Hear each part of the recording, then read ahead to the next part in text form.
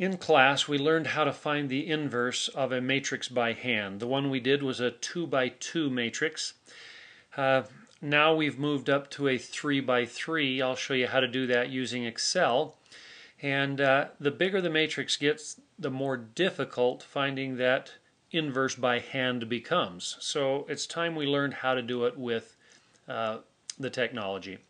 So let's show you how to do that. First of all, uh, we, we notice that A is a square matrix. If a, if a matrix is not a square matrix, you will not find an inverse for it. And if it is a square matrix, it might have an inverse or it may not be invertible. So we're going to try this out to see if A is invertible. We'll come down here and say the inverse of A, which we write A, and then we have a superscript of negative 1.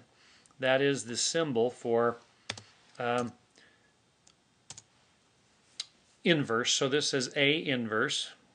And we know if it does exist, it will be a 3 by 3.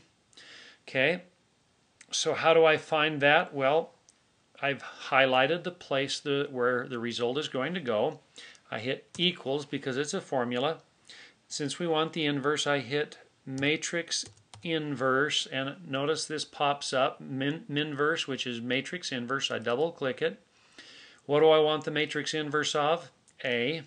So I hit the array, select the array that holds the matrix A. Since this is a matrix computation, I hold the control shift and hit return or enter, and there is the inverse of A. This is invertible. That does have an inverse, and I see that I've got it uh, in there. I'm going to widen. You'll notice that this column is accurate to the tenths, nearest tenth this one to the nearest thousandth, and this column to the nearest hundredth. So there's some greater accuracy as if we were to widen the columns and be able to see that. But what I'd like to do now is to determine if in fact this really is the inverse, and we have a way of checking that.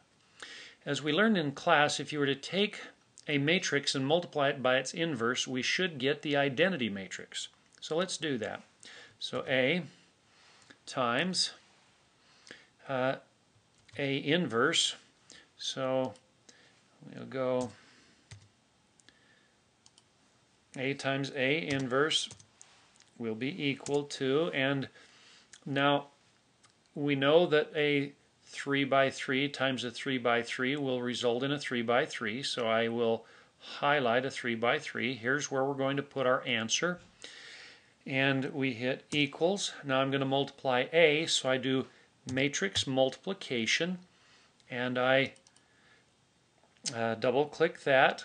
I take the inverse and I could, with inverses you can go either way. So I'll go the inverse times, that's the comma to separate those arrays. Now I take it times the matrix A and I hold down control shift return and you'll notice that we have the main diagonal of 1. Everything else is 0. I don't know what that funny negative 0 is doing, but uh, there is the confirmation that this really is indeed the inverse of A because it yields the identity. And that's how you find the inverse of a matrix with technology. It's very slick, very quick, no matter the size of our matrix and this is going to come in very handy for us in the future.